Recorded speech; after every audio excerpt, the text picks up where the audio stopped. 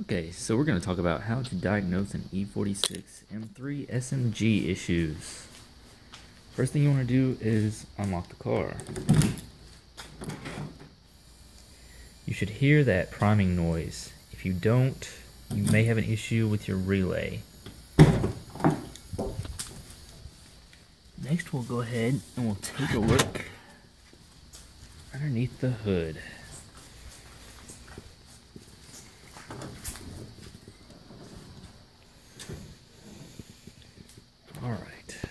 So we will come over to inside this box. Once you get that fuse panel off, you will be looking at this right here. You'll take that out, just swap it out with a new one because they are fairly cheap and that is the easiest fix. Another thing you can do while you're already under here is look at this 40 amp fuse.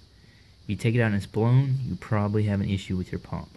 While I'm waiting for the computer to load up, I will go over some stuff that you need. So the next thing you'll be looking for to diagnose your SMG problem is you're going to need some software.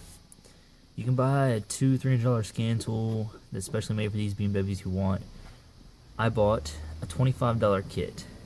It came with this USB to OBD, and it came with a CD, and it all cost me $25. The CD has INPA software. You'll have to follow the instructions to set it up, and you will have to have Windows XP to make it work properly. But for the most part, here's the main thing that I see. People who have pump issues from all the research that I've done usually have an indicator ahead of time. It's usually the car kicking out of gear. So that is a good sign that your pump is going out. But we'll also go through how to use this software a little bit.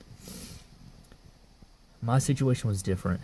My car completely died all at once. It actually, the SMG light came on, the car started to shudder, the car was turned off, and the car never came back on.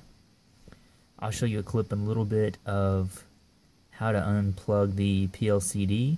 It's like a little sensor underneath that connects to the slave cylinder and you can get the car to fire that way. My issue turned out to be a clutch and I really recommend that you exercise some common sense and kind of follow your gut instinct. Sorry for the cutscene. We'll go back to that in a second. First we're going to go ahead, plug this in. Red light will come on. You're going to need your car on a battery charger while you're doing this. This drains a lot of battery. Your car will have to be in the on position while you're running the software.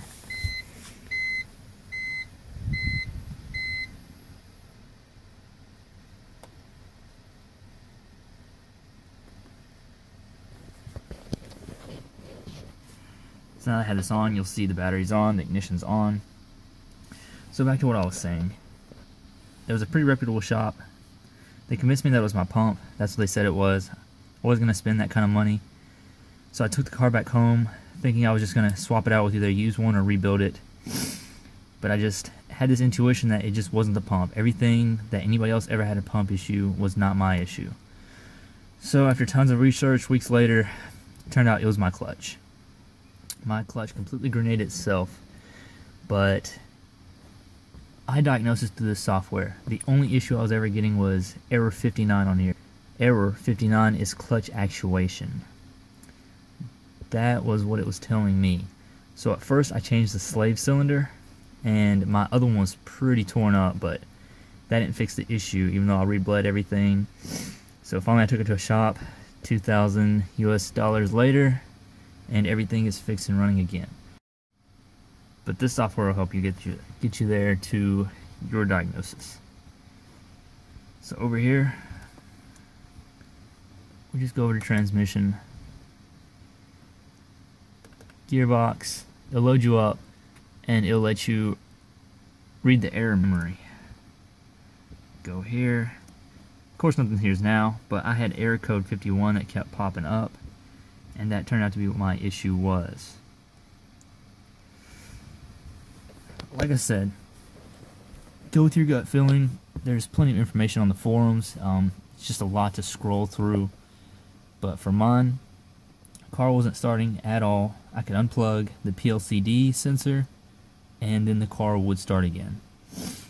Uh, it had a horrible squeak, like squeal, I'm assuming that was probably the throwout bearing, something like that, because everything under there had to be replaced on mine. Key indicators that are your pump are, of course, it kicking itself out of gear every so often, or if everything just stops all at once and you can't hear it prime on startup and you change the relay and it still doesn't start up, that's probably a key issue there. But this right here will save you a lot of time and help you at least narrow it down. So, hope this video helped. If you liked it or it helped you in any way, please like and subscribe. Thanks. Good luck with yours.